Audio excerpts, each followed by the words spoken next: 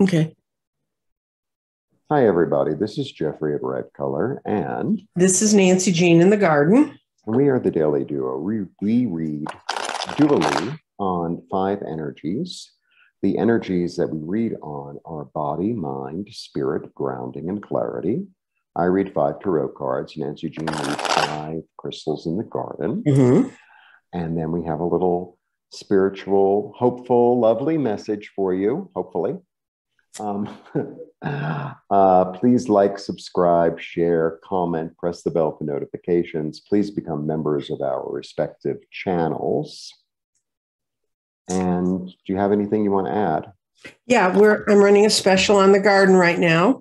And it's um, if you go to my website, www.crystaldirections.com, that's in the description below. It go to the store and it'll explain all about how to do this. I'm opening up a membership for people who own the garden to be able to learn how to read it. Um, since this kind of was sent to me, I ch- channeled this in last year. And uh, the other thing is that I'm doing a nine candle ceremony. It started on the 12th. So this will be day three. And uh, if you'd like to tune into that, it's a time for us to get ready for the summer solstice, which is on the 21st. And that's it. Oh, and today, by the way, is the full moon That's true. All day long. all day. Mm-hmm. Oh. Okay. So, first off, I have um Okay, first off, my full moon message was basically find the thing that you love to do and do more of it. That was my basic message. Mhm. moon, Which, you know, great, right? And now, so I'm looking at these. I have three sevens. I have three sevens. So That's sevens great. are all about, yeah, sevens are all about confidence. Sevens are all Mhm. about like, you can do it, rah, rah, rah. Rah, rah, rah. I wish I had those things, but I don't. All right. Um, okay. So for body, it's like you've taken a lot of action, you've planted a lot of seeds, and know that they're going to grow. Be confident in Mhm.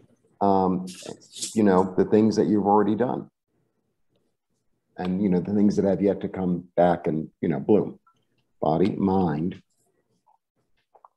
Mind says, yeah, I, you know, I think you should go after what you want. Interesting that this should come up on the full moon, right? Right. um, it, it- you know, there's this energy in this card. I, to me, this is like the spiritual quest. So Right. there's this energy, and but but it's not. This is not burning bridges.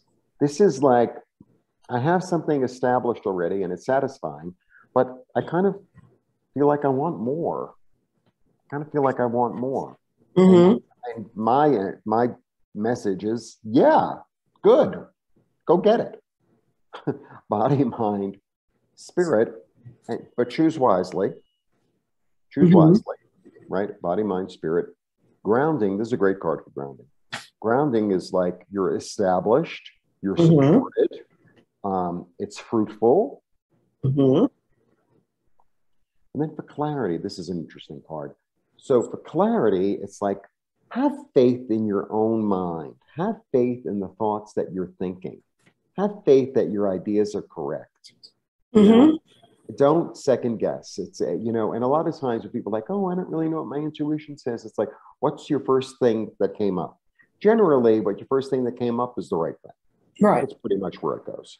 So there's a sense of uh, moving forward. There's a sense of we've got you. There's a sense of you can go out and get whatever you want.